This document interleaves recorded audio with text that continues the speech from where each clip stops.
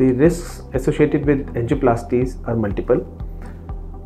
Although they are very less frequently seen nowadays, a few of the complications uh, we are going to discuss here today are related to infection, bleeding, arrhythmias, in which the heart rate can go up to 300 beats per minute as well as it can go down to less than 40 beats per minute.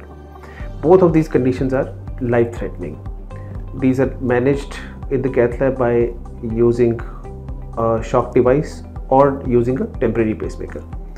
The other type of complication is related to the dye that we use to see the blood vessels, which we call it uh, as contrast. So, first complication is the contrast allergy.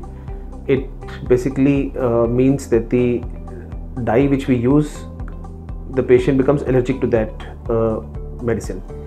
And the other one is acute kidney, kidney injury. The dye stays in the kidney for some time and it can damage the kidneys and it especially happens in patients in which there is already a pre-existing kidney disease